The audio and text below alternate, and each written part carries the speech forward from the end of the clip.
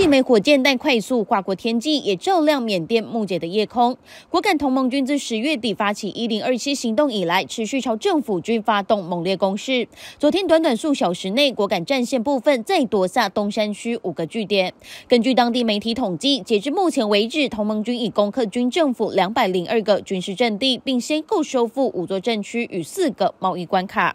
美联社引述军方人士说法，表示从未看过如此激烈的战斗，并表示基地目前遭到来自四面八方的攻击，导致前哨一片混乱。不过，政府军为了加强巩固据点，开始运用西海岸海军力量沿线轰炸民兵，更采用了集中炮击和空袭等手段。英国国际战略研究所分析师麦克斯就指出，政府军正透过放弃阵地、好后撤并集中兵力，因此战斗尚未结束。不过，他也表示，由于各个武装力量目标都是抢下更多领土控制权，军政府或许可以透过在领土协议上让步来结束这一场战争。泰国朱拉隆功大学教授帕塔尼则分析，缅甸当前局势之所以如此混乱，是因为三大力量正在互相拉锯。除了少数民族与政府的权力与利益纠葛，还包括支持翁山苏基的民主阵营已经逐渐转化成一股武装抵抗力量。因此，尽管目前反抗军攻势正在逐步取得进展，但由于缅甸的地理位置以及所牵涉的地缘政治关系，就算军政府首脑敏昂莱未来真的下台，缅甸会恢复成民主体制，还是陷入更深层的内战？甚至是代理人战争，仍然不得而知。